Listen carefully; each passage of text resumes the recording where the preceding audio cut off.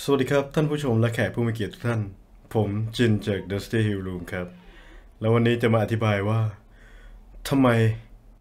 อย่าตั้ง auto white balance มาเด็ดขาดเลยนะ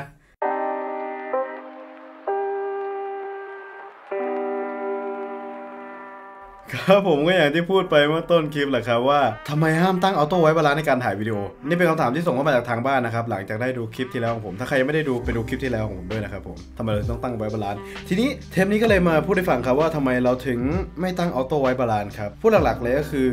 กล้องเดี๋ยวนี้มันสามารถตั้ง auto white balance ได้ มันจะมี preset เยอะมาก แล้วเราก็ตั้ง Kelvin เอง แล้วก็มี auto white balance ด้วย แต่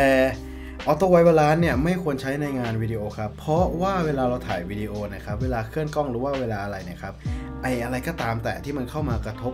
กล้องเนี่ยเล็กๆน้อยๆเนี่ยมันก็ทำให้ white balance เปลี่ยนแหละครับเพราะฉะนั้นเนี่ยเมื่อ white balance มันเปลี่ยนนะครับเวลาที่เราเอาไปย้อมสีแล้วเราเอาไปทำงานต่อเนี่ยมันยากครับบางทีเราอาจจะมองไม่เห็นแล้วว่า white balance มันเปลี่ยนเพราะเรารู้สึกว่ามันขาวตลอดเวลาใช่ไหมครับมันนู่นมันนี่มันดูตรงมันดูนั่นนี่ใช่ไหมครับ แต่เวลาเราเอาไปย้อมเนี่ยครับโอ้ นรกเลยนะ เพราะเวลาเอาไปย้อมเนี่ยครับ มันจะมีค่าเคลวินต่างๆ ครับผมที่มันให้ค่าสีให้ค่าแสงบาบาไม่เหมือนกันอะไรเงี้ย แล้วพอเราเอามาย้อมเนี่ย โอ้งานเกิดเลย เพราะว่าเวลาที่เราย้อมไอตัวต้นคลิปไปแล้ว ตัวท้ายคลิปจะไม่เหมือนซะงั้นอะแล้วก็จะทำให้เรื่องมันยากขึ้นครับผมเพราะฉะนั้นเวลาถ่ายวิดีโอนะครับ เซต white balance ไว้เลยว่าเราเฮ้ยฉากนี้เราจะถ่าย3,600ฉากนี้เราจะถ่าย4,200ฉากนี้เราจะถ่าย5,600อะไรก็ว่ากันไปนะครับ เราก็ถ่ายไว้เลย แล้วพอเปลี่ยนซีนเราก็ตั้งค่า white balance ใหม่ครับผม แล้วก็อย่าลืมจดไว้ด้วยนะครับผม ไว้เป็น camera report นะครับ ก็ถ้าใครมีคำถามสามารถถามเข้ามาที่ใต้คลิปนี้ หรือว่าไปถามที่เพจ Dusty Hill Room ใน Facebook ได้เลยนะครับผม